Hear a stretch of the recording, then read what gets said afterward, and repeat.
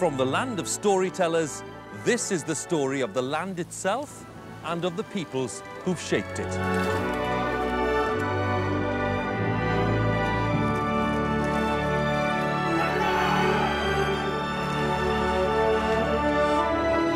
It's majestic, it's thrilling, it's a story that tells us who we are, where we've come from, and where we're going. It's a tale that's been 30,000 years in the making. It shows our country in ways we've never seen it before. From the Ice Age to the Information Age. This is our story, the story of Wales.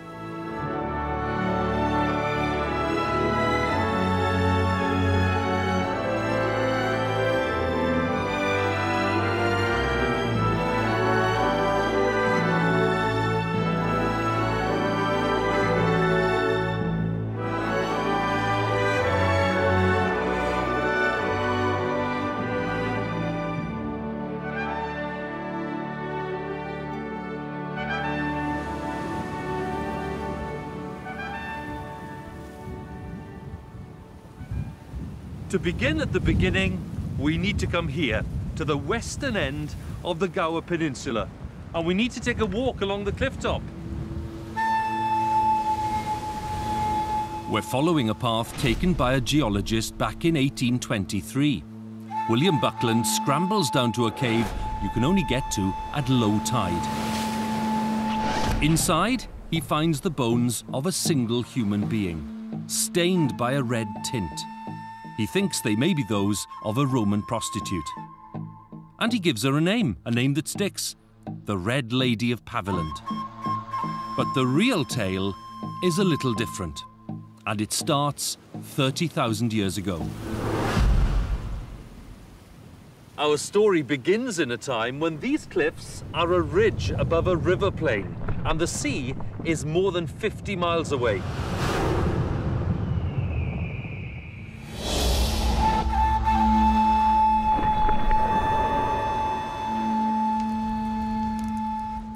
The earliest truly human occupants of the land we know as Wales are burying one of their dead.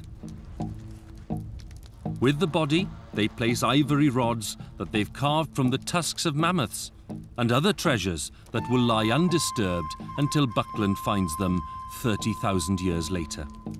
A mammoth skull and a necklace of seashells. But the person they're laying to rest isn't a woman, as Buckland thought. He's a young man in his 20s. His is the earliest known human burial in Western Europe.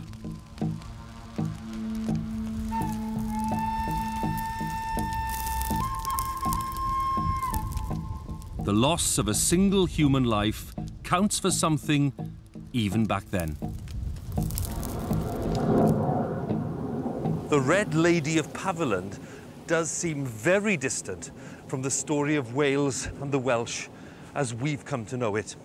And yet the way we think of that single life and death can set the tone for the whole of our history of Wales. One version of our past would see these people as sad and isolated in a dark space of their own. But I'm determined to remind us that they're much more connected than that sharing a whole way of life with others across an entire continent. That's how they know that this special pigment, red ochre, will stain the bones of the dead. And that's how they know that this is the way to honour the dead, burying them with beautiful things they've made. These people are tough Soon they'll be facing the challenge of huge climate change. Surrounded by mammoths and rhinos, hyenas and lions, these Stone Age hunters know how to fight to survive.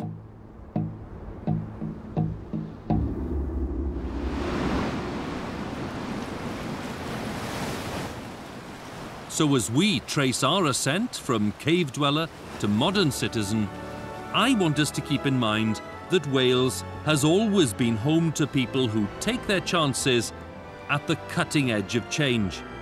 People who are open to new ideas and find ways to move forward without forgetting to honour those who've gone before. The story of Wales is the experience of each and every one of us in Wales, of anyone who's ever lived in this country, from the Red Lady of Paviland, buried in this cave on the Gower Peninsula tens of thousands of years ago, to you and me today. We are all part of the story of Wales.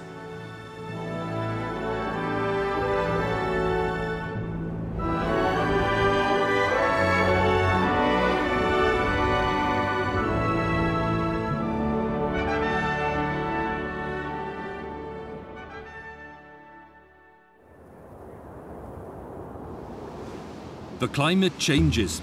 People are driven away from Paviland and everywhere else in Wales. A wall of ice 40 metres thick comes as far south as the Gower.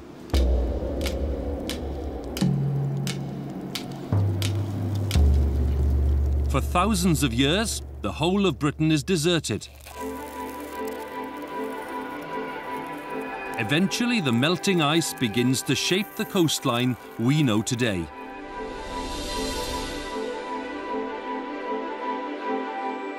Great thaw brings back plants and animals. People follow slowly.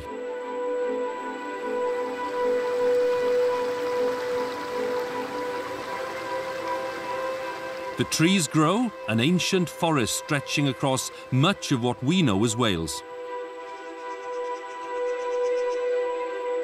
There are just a few gaps in the woodland where the deer eat out glades or people set fires to make clearings. About 6,000 years ago, agriculture reaches Western Britain. The farmers begin to clear parts of the forest to grow primitive wheat and to keep sheep and goats, cattle, pigs and dogs.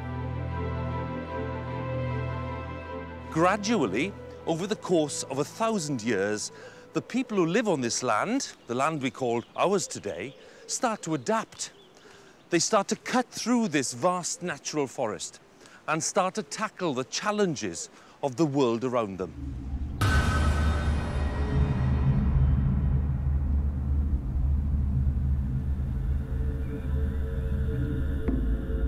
This is the age of the great religious monuments like Pentre Ifan in Pembrokeshire.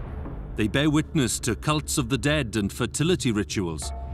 These people are farming and thinking about the meaning of their lives.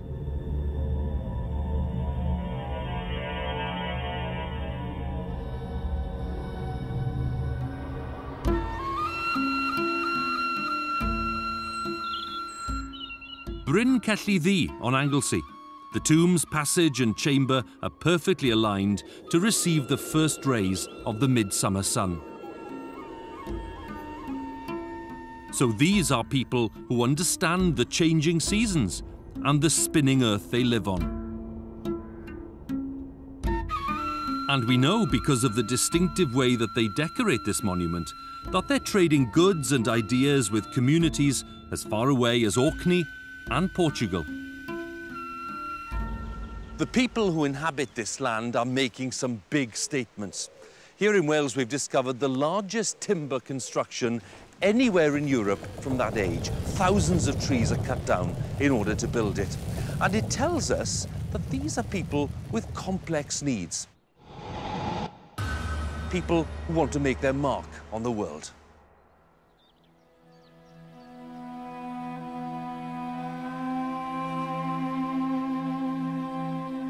The Hindwell enclosure is long gone, but from the post holes left behind in the soil, we can imagine how it dominates the Stone Age landscape.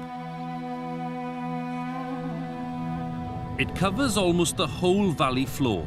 You could fit the Millennium Stadium inside eight times over.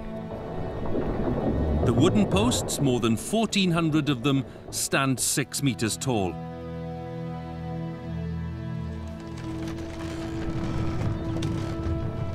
And it's all built with stone and wood tools.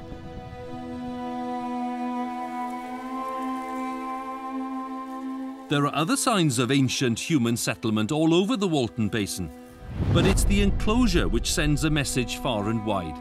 Here are people who've organised themselves on an epic scale.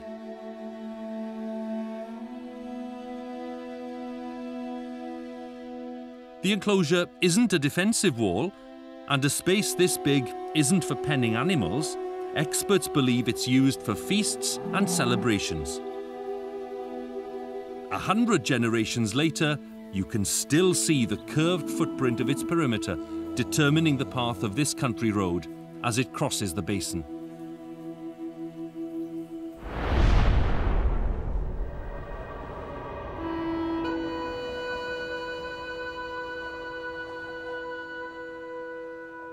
Just a few centuries after the building of the Walton Basin enclosure, the world changes. Humanity emerges from the Stone Age.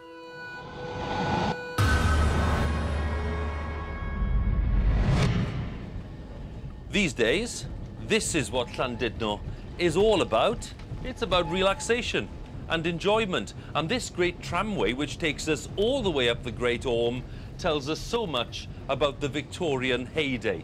Llandudno is all about leisure. This is where people come to escape the grime of heavy industry.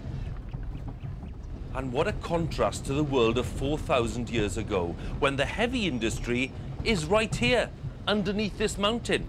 There's a revolution going on. I'm talking about metal, and the Great Orme is where it's happening.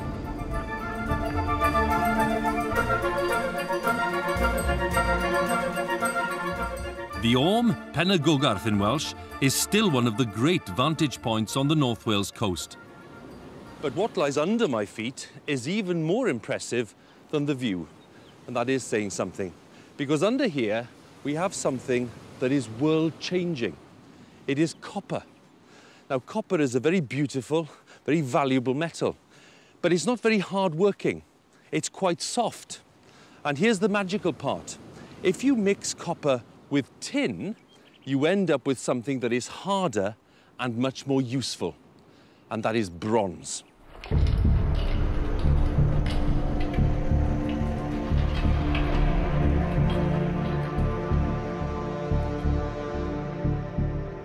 Less than 30 years ago, we knew nothing about the copper mines of the Great Orme and their place in the great leap forward of the Bronze Age. They were discovered by chance when a new car park was being excavated. Sian James began work as a tour guide here and found the mines so fascinating that she's gone on to make a full study of them as an academic archaeologist. Wow, that's quite breathtaking. What are we looking at? We're in one of the large chambers, and this used to be full of malachite, of copper ore that the miners were digging out. Digging it out with little tools, little implements? Bone tools, stone hammers. Nothing really more sophisticated than that. About 30,000 animal bones have been discovered from the mine. It's a huge number. It is. Originally, these were all thought to be food waste, probably by the miners, but I'm not sure you'd actually want to be eating down here. Oh. My research over the past few years suggests that these are all linked in with the mining itself. I'm sure people will be interested in what exactly they're digging out because I know that we've got an example here. Yeah. Just tell us what we've got here. This is malachite. This is the main copper ore. People think of copper today as this lovely orange metal, but this is how they'd have probably first seen it. If you smelt it with charcoal, 1000 degrees centigrade, and suddenly you get this wonderful orange metal. So you've got five miles of tunnels. What does this represent worldwide? This is the largest prehistoric copper mine anywhere in the world, and we've probably only discovered about 10% of it so far.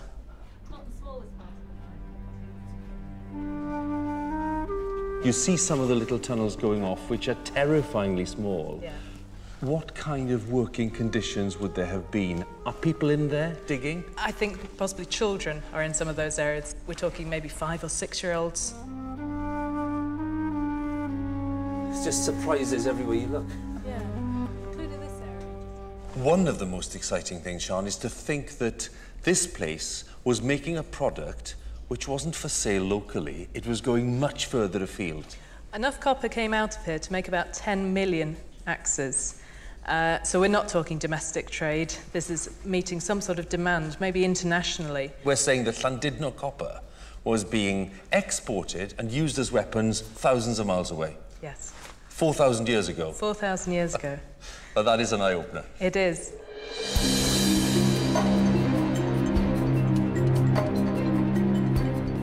The industrial scale of the Great Orme enterprise demands a really sophisticated support network to feed the workforce, to smelt the copper, and to ship out the end product. By contrast, the basic tools of the trade are ingenious but very simple. This is what? Uh, this is a stone hammer that they've just gone down to the beach, picked up a suitable stone, brought it up here, ready for digging with. You know, that's a very basic kind of tool, isn't it? Really? Simple but very effective. You've got something there which is a little more delicate. It is more delicate but still very effective. Uh, these are two cattle bones that we found from the mine. They're both tools. This one's a rib bone, rounded on the end, and uh, would have been used for sort of chiselling out, digging out the malachite. And then this one is a humerus bone, so that's the front leg, and that is the perfect shape for just holding and digging out, A handle. chiselling out the malachite. Well, no, that, that chopping action you've done brings me to this, because this, for me, is the most surprising thing of all. You think of three and a half thousand years ago, and there's a level of sophistication here which I have to say took me by surprise. So talk us through this. Yeah, this is one of the uh, palstave axes that they would have used in the Bronze Age. Would have been made in a, a two-piece mould, uh, but this is bronze, so this is the copper, which would have come from here, and then tin, which they'd have to go to Cornwall probably to get. That's something that was held three and a half thousand years ago. Yeah, That's quite a thrill. it is.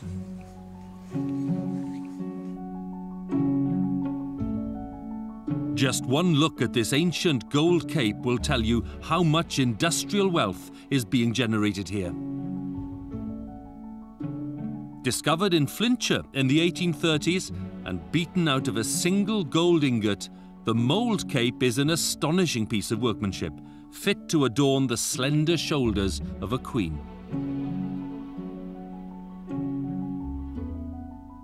It dates from a time when Egypt is building the pyramids. North Wales has riches to rival the pharaohs.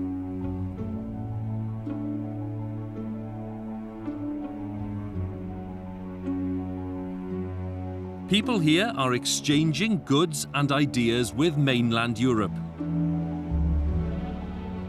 But who exactly are their trading partners? And how do they reach them? The latest research points west to the open Atlantic. This is the trading superhighway of the ancient world. Through it, we may be able to trace our Celtic roots much further back than we ever imagined. And one of the pioneers of this new line of thinking is Professor John Koch. John, it's an intriguing thought as we look at the sea here today on the coast of North Wales to think that this channel, this transport by sea, which frankly lots of people would never have imagined, was more sophisticated, more advanced than we ever, ever thought.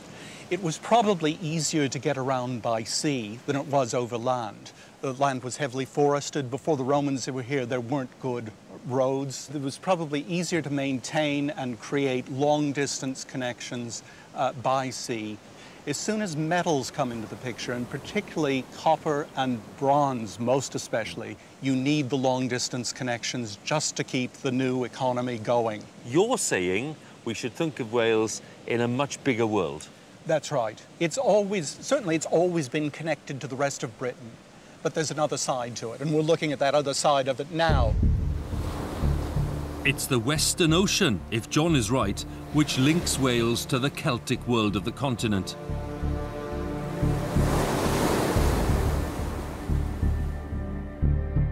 And it's not the story we used to be told.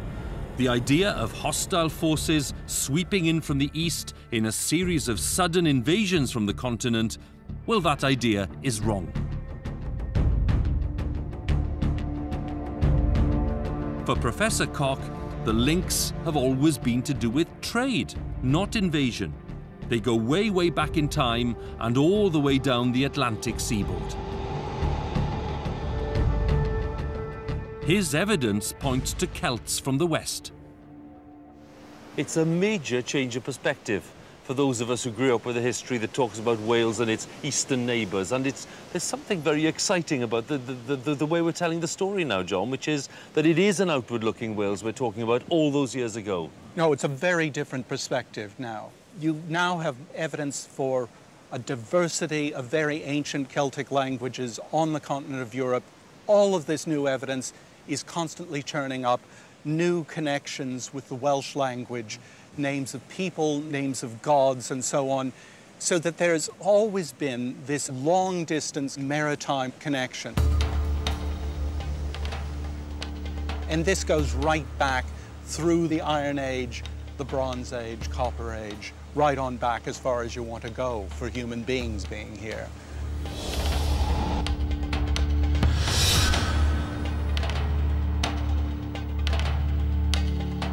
The trading links go deep into history, but the technology is moving forward.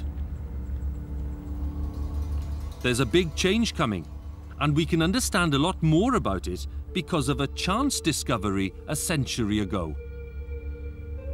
100 years ago, workmen were here at the foot of Craig-y-Llyn, creating a reservoir for the people of Rhondda, just over the hill. And in the course of clearing peat and vegetation, they made the most fantastic of discoveries.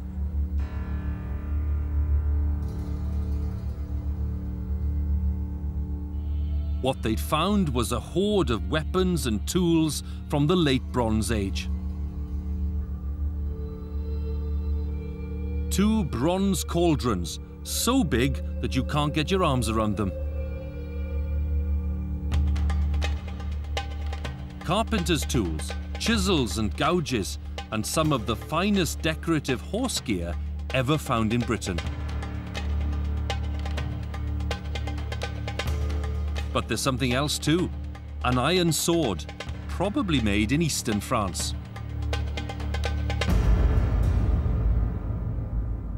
This superbly grooved, it's just part of a sword, the grooves on the blade telling us that hmm, this isn't just a first time blacksmith's effort with iron because 2,700 years ago, 2,800 years ago, iron was something really new. New and valuable. Too valuable to have been left here without thought. From similar finds in bogs and rivers and lakes, experts believe they're offerings to a local goddess.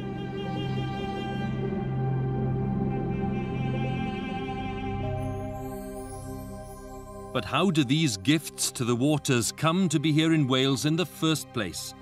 Are they evidence of trade or war? Perhaps 50 years ago, an archaeologist looking at this Llyn collection might say that uh, the foreign sword uh, from the continent meant that an invader carried it here. By today, many of us believe it was trade, gifts passing through many hands. Most intriguing of all, there's evidence here in the L-shaped iron sickle and the short spearhead that local smiths are transferring their skills in bronze to work in this even more useful new metal. Here is our bronze smith, somehow being introduced or experimenting with iron ores that you can find in the geology, in the rocks behind us here of the South Wales coalfield, experimenting with smelting, forging the iron and creating new metal objects in the old style.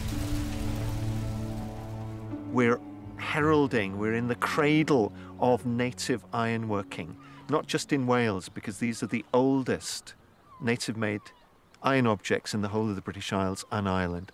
Fantastic story.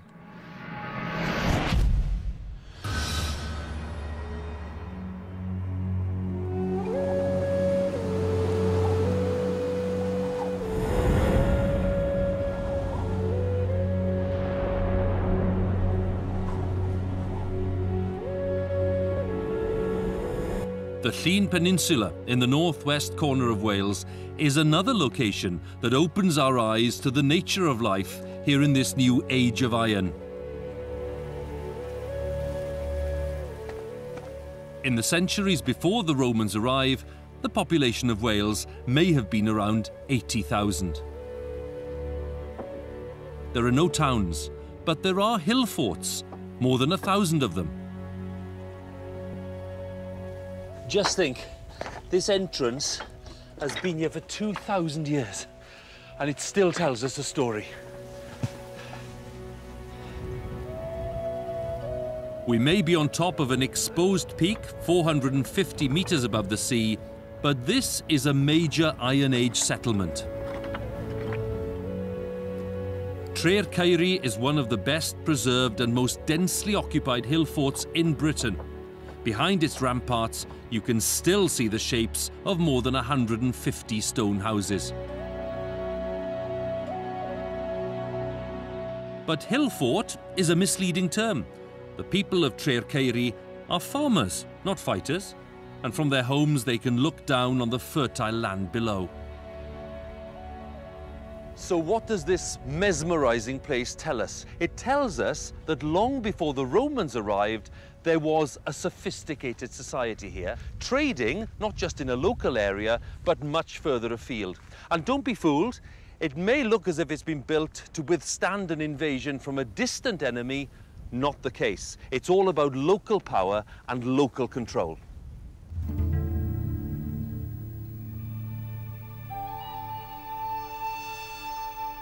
So by 2,000 years ago, a pattern has emerged. The ancient peoples of Wales have settled into a group of separate tribes.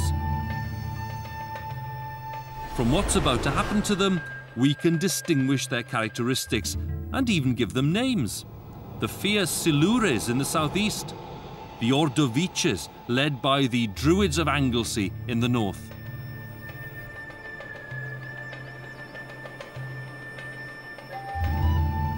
Each tribe is many thousand strong with its own royal family and priests and rituals. They squabble and they skirmish, but they speak a common language and they know each other's customs and gods. This is their home.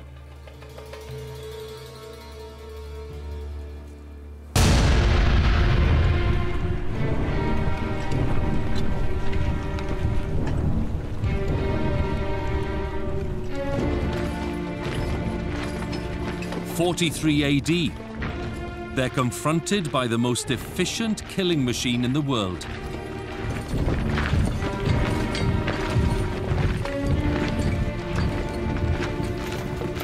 The Roman army sweeps across Britain.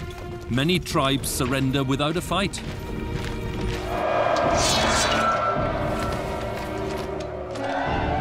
Others try guerrilla tactics to ambush and surprise the invaders.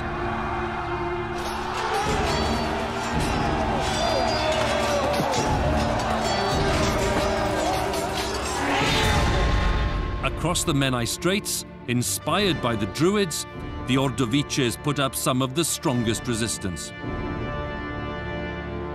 In the south, the Silures take the battle to the Romans. This land, rolling down towards the Severn estuary, is the power base of the Silures. And power is the right word. They're strong, they're fierce. They're not the kind of fighters who hide in the hills and launch the odd raid. They're in the business of making full frontal attacks on the Romans. According to one story, they demolished three Roman units in a single day. And then they followed that success by almost wiping out an entire legion.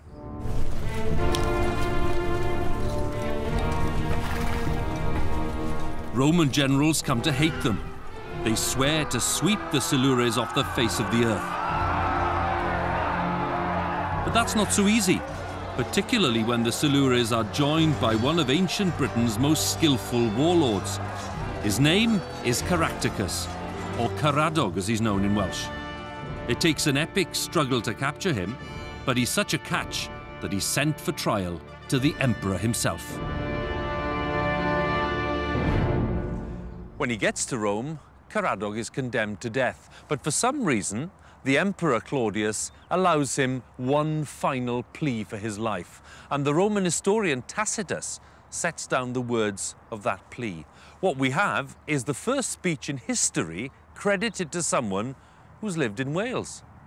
It's quite a speech.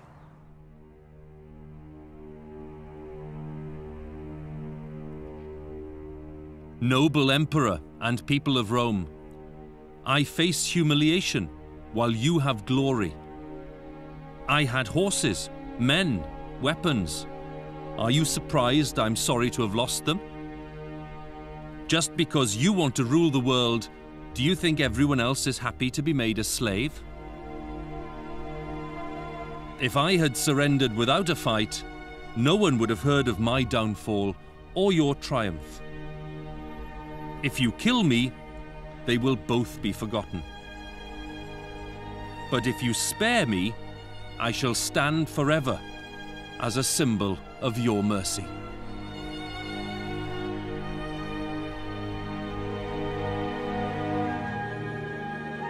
The words work. Caractacus is freed, but he never returns to Britain, and history records no more of him. What we can say is that the ancient Britons are a bit of a handful, to put it mildly, and that's certainly the case here in Wales. We're at the very edge of the Roman Empire, and Rome realises that it needs a very powerful military presence if it's to keep things under control. So what do the Romans decide that they have to do? Well, they decide to build an immense fortress here at Caerleon, and they call this place Isca. This is where thousands of soldiers are fed and watered, housed and trained, trained to put the locals down and keep them down.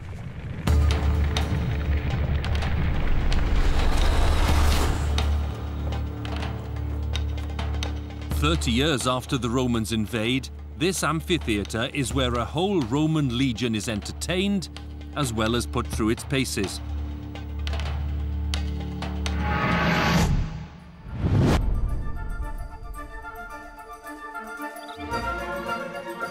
But Isca, it turns out, isn't just a big army camp. Whilst we've been filming this series, archaeologists have been digging here on a large area between the military site and the River Usk. Their extraordinary new findings give us a completely fresh understanding of this place. Caerleon is a Roman city and a major port. What we can see here is a, uh, a new reconstruction that we've had um, done. It's still in the development stage, but it shows what this part of Caerleon might have been like at the end of the first century AD as we imagine it around about 100. You can see a river ship coming up the um, Usk from the Severn estuary, bringing men and materials into Caerleon. Here we have the quayside, which we've been excavating here. Um, where all the materials and the men would have been offloaded. And then we have a fly-through of the uh, Roman buildings that we've been uncovering, including the very large courtyard complex, a series of buildings that we think are the marketplaces that include bathhouses. Here we can see the amphitheatre, and then we fly through the fortress's west gate into the centre of Isca where we can see barrack blocks and store buildings, the commanding officer's house and headquarters, and Caerleon's famous bathhouse where the Romans would have kept themselves clean. And then we're flying through the main street out towards the civilian settlement on the other side. And it really gives a, a, tremendous sense of how big some of these buildings were and how imposing and important they must have looked at the time. One of the new riverfront structures discovered by Dr. Guest is more than 100 metres long and 100 metres wide, big enough to fit the amphitheatre inside its central courtyard. It's just part of this port complex which is changing our view of how Caerleon connects Britain to the rest of the Roman Empire. We're in one of the excavation trenches that's closest to the River Usk. And in this trench, we think we have the remains of the Roman port. Here, this wall, we think, is the quayside wall that the Romans would have constructed outside the fortress at Caerleon um, which would have allowed ships and boats to moor on the River Usk and for men and materials and other goods to be offloaded and then taken into the fortress and into the other parts of Roman Wales.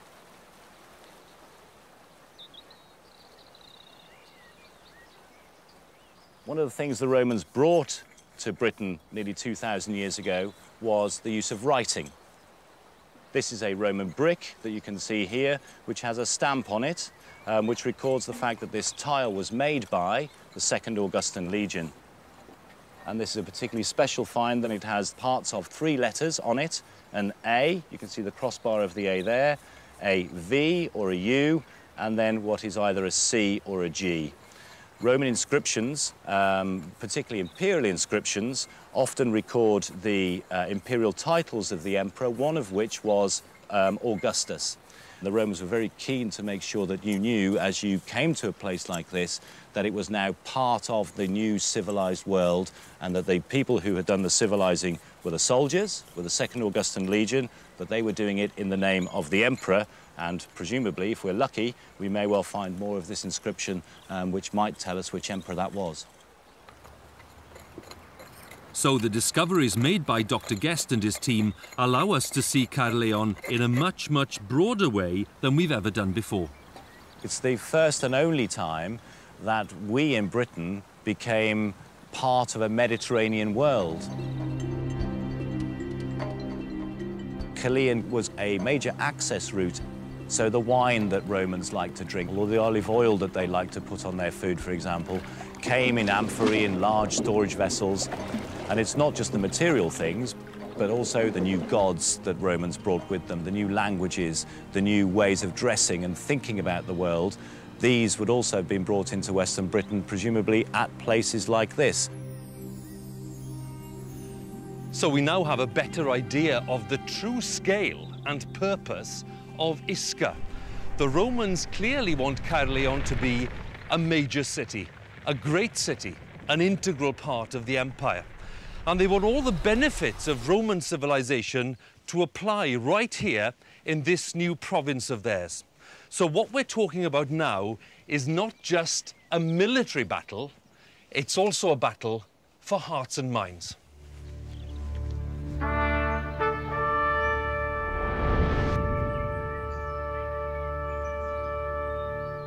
Just down the road from Caerleon, at the door of this church in Caerwent, is a relic of Roman times which shows just how quickly the native Britons embrace all that Rome has to offer.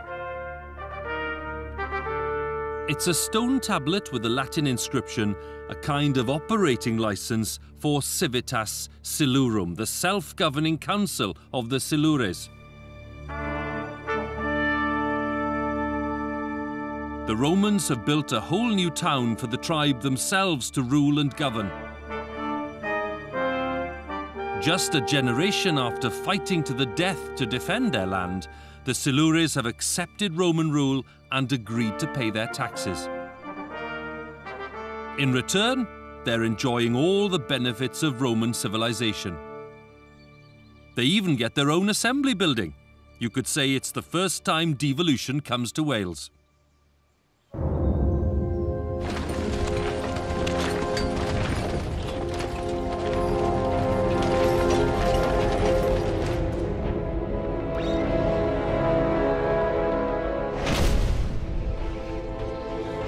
And it's not just in the south that the Romans secure their grip.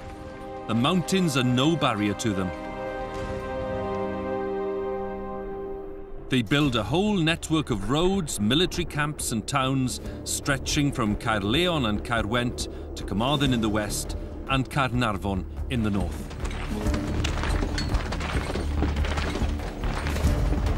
The Roman occupation of Britain is a massive enterprise it ties up the Empire's military resources and personnel for decades.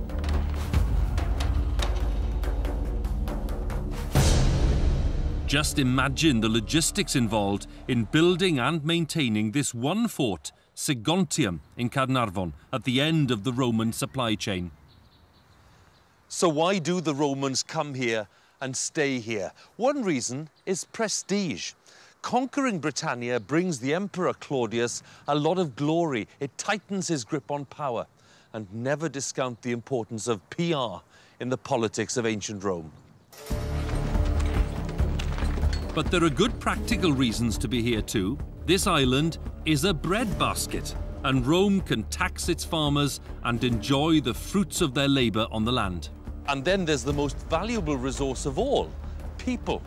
While some Britons enjoy all of the benefits of Roman civilization, many more of them are traded as slaves. Or living tools, as the Romans call them. And they're put to dig out Britannia's mineral wealth like the gold at Dolau in West Wales. Many other slaves are shipped off to Rome to serve its politicians, philosophers and army veterans. Life for many is nasty, short and brutal. But others do thrive on Rome's bounty. Any Welsh speaker will confirm just how comprehensively the tribes of Wales adopt the benefits of Roman civilization. The language proves it. Some of the words used here at Segontium 2,000 years ago are still being used on the streets of Caernarfon today.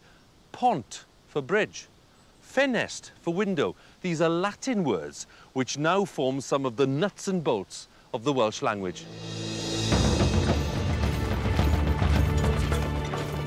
And there's something else that Rome leaves behind here Christianity.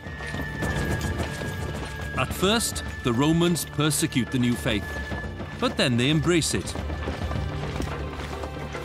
In the year 306, when he's on a military campaign in Britain, Constantine the Great is proclaimed emperor.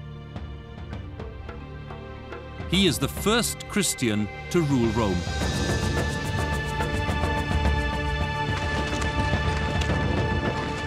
The Romans rule Britannia for 350 years. There are imperial soldiers here right up to the year 400. But in the end, with their empire under threat, the Romans march out of our history and leave Christian Britain to defend itself.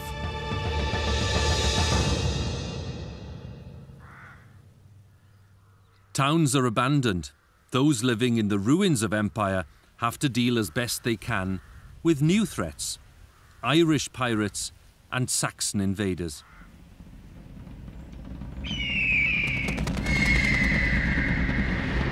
Dyfed and Brycheiniog are overrun by the Irish. Gwynedd is invaded, probably by tribes from north of Hadrian's Wall. And then come the Angles and the Saxons.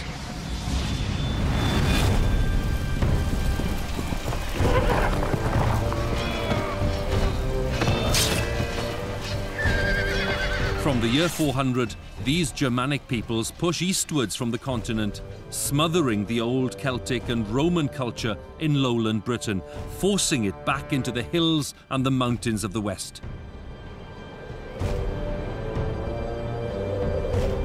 The Anglo-Saxons don't share the Christian faith that Rome has brought, and it seems that Britain's Roman legacy may be eclipsed completely.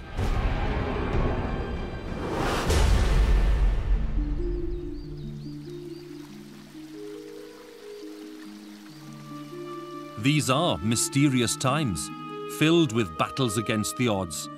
Something in them sparks the Celtic imagination. The hard facts are scarce, but the struggle to keep the faith alive inspires some of the greatest stories of Wales.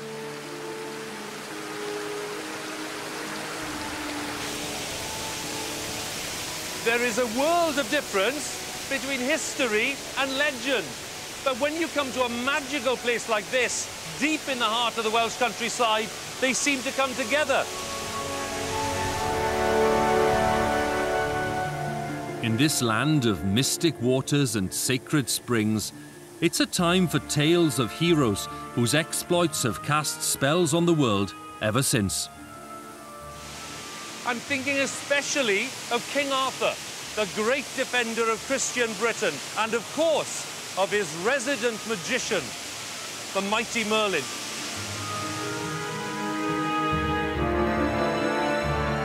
In one story, written down more than a thousand years ago by a Welsh monk known as Nennius, it is Merlin who predicts that the Red Dragon, the native Britons, will eventually defeat the White Dragon, the invading Anglo-Saxons.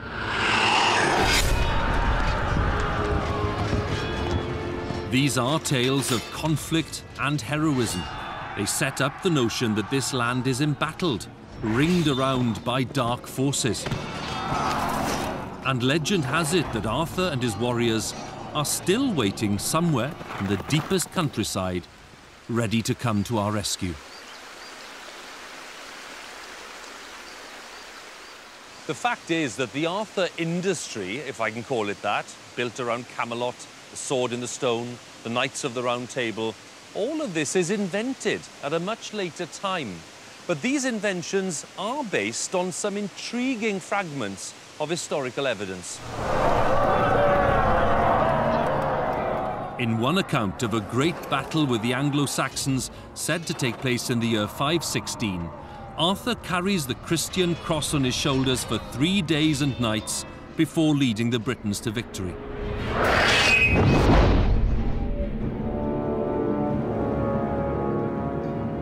All over Britain, there is an epic struggle going on.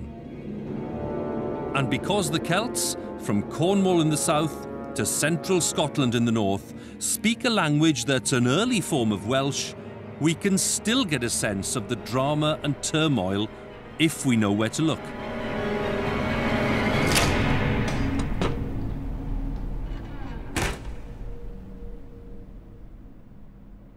This is the Book of Aneirin in the National Library in Aberystwyth, and it contains the record of a battle from around the year 600. Gwir aeth gatraeth oedd ffraith ei llu, glasfedd ei hancwyn, a Gwenwyn fi. The men who marched to Catterick were a swift war band. Their drink was mead. It proved to be poison. They're very famous lines. They're taken from the earliest surviving Welsh poem, written by a poet living in Edinburgh.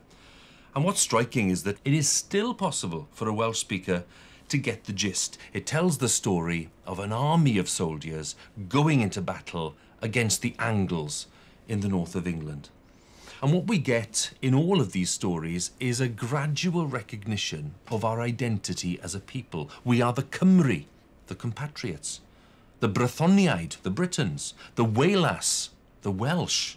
That's the Anglo-Saxon word for strangers, or more precisely, those strangers who used to live in a Roman world.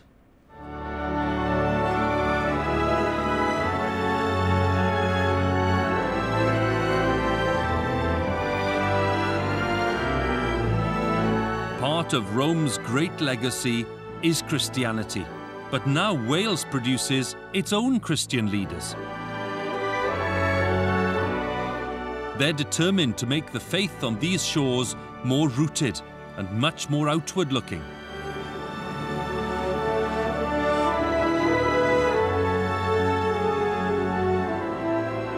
Between the years 400 and 600, they managed to defend and strengthen Christianity in the teeth of Anglo-Saxon aggression. This is the Age of the Saints. Some focus completely on the spiritual life, away from the turmoil of war that's all around. It's a search for remoteness and isolation, for the kind of spiritual peace that can still be found along parts of the Welsh coastline. These are people who want to withdraw from the world and who take as their example the Christian hermits of the Middle East, thousands of miles away. We're on the edge of Europe here, but we are in the mainstream of Christianity.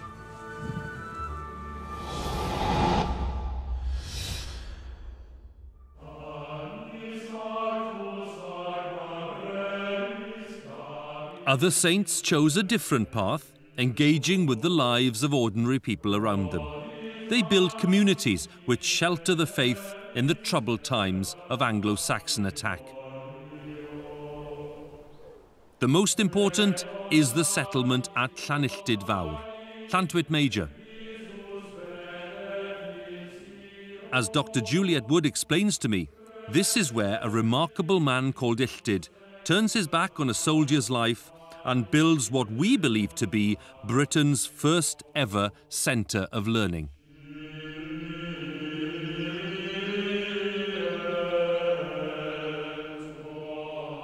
We don't have a lot of written records from this period, but we do have the saints' lives and we do have stories about mythical figures. Now, these are always sort of done much after the historical period. You kind of have to be careful with them, but they do tell us what was important to the culture.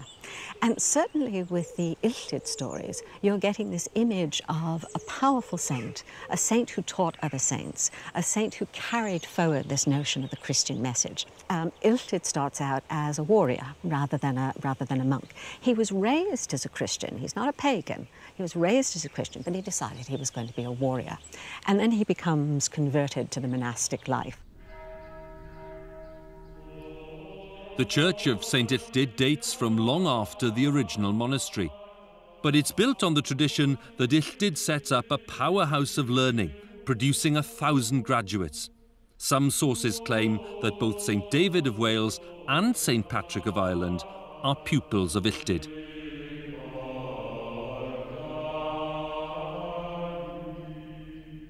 The Celtic crosses at the church door date back almost as far as the age of the saints. One of them bears the name of Illtyd himself and several of his chief followers. They are men who cling to faith and learning in a time of war.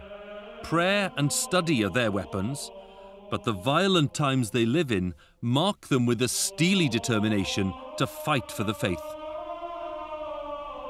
The Welsh saints are a quite different bunch. Uh, there are no martyrs. They're quite tetchy. Um, they really blast their enemies. Uh, they're very strong figures. So you get these wonderful legends which tell you what it is about a Welsh saint that we ought to emulate. Illtyd's focus is on the world outside. In church terms, Llantwit Major is what we call a clas monastery. That's a flexible settlement linked to the local chieftains who are also determined to defend their patch. It was a time when Wales was beginning to think of itself as different. But it wouldn't have been um, all of Wales in the sense that we now think of this. So when we think of the story of Wales, you're really dealing with a mosaic which is eventually going to come together. And Illtyd himself taught a number of very important Welsh saints, and they went out and they founded their own clas monasteries. The mosaic of Welsh life isn't yet complete, but the picture is filling out. In the 500s and 600s, Illtyd's disciples build small communities all over Wales.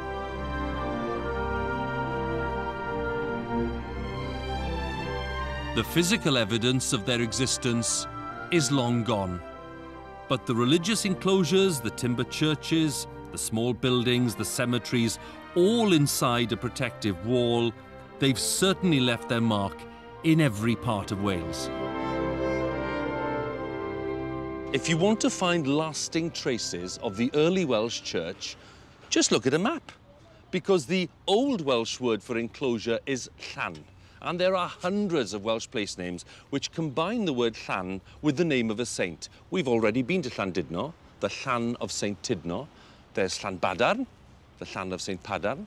There's Llanelli, of course, the Llan of St Elli. There are slightly more complex ones.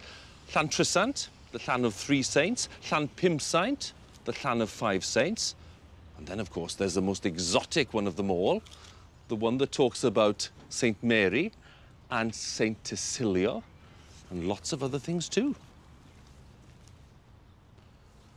And yes, I can say it. Llan Fair Pwll Gwyngyll, go ger y chwyrn drobw Llan Dysilio go go goch. How's that?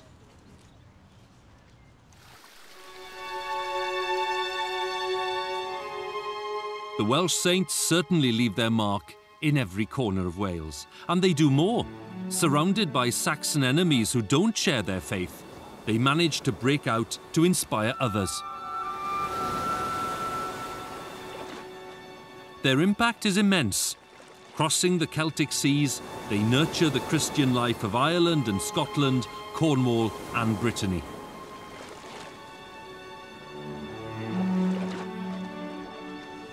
The traditions they establish give us masterpieces such as the illuminated manuscripts of faraway Lindisfarne.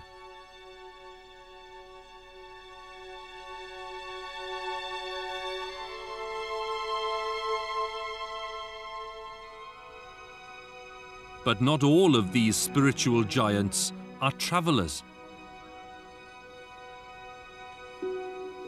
The best known figure of the age stays at home here in Wales. And he builds a wooden church in this sheltered, tranquil spot in the far west on the coastline. Today, it is the site of this magnificent stone-built cathedral, which exudes power and certainty. It is, of course, the Cathedral Church of Dewi Sant, our patron saint, St. David.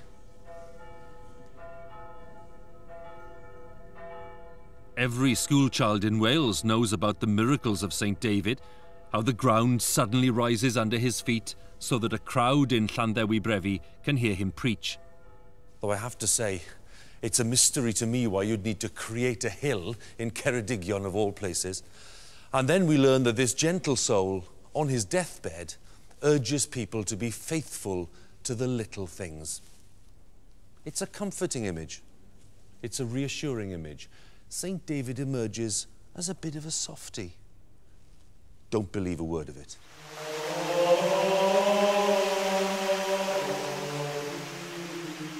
David's nickname was Aquaticus, the waterman.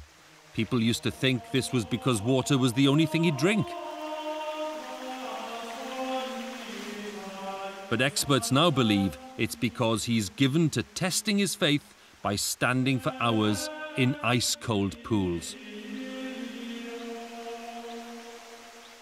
We have very few facts about him, but the way we see Dewi is important because his name, his tradition are part and parcel of a distinctive Welsh form of the Christian faith, one that tries to hold on to its independence for 500 years to come. And it's that tenacity, that determination, which earns Dewi his place as our patron saint and as a national figurehead.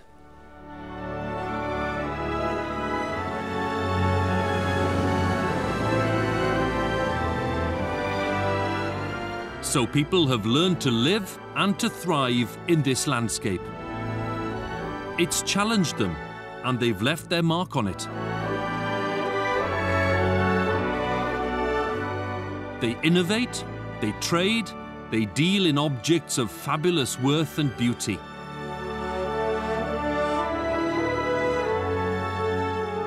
They faced the armies of Rome, and they've benefited from all that mighty empire has to offer. Now they're fighting for their place in the world and for the way they want to live. So the Welsh have arrived. They're a force to be reckoned with. And the battle to strengthen and defend that identity is about to begin.